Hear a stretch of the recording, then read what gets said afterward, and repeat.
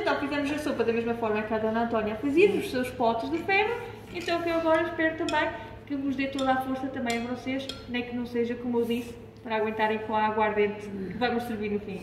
Portanto, muito obrigada, bom apetite e até já. Até já.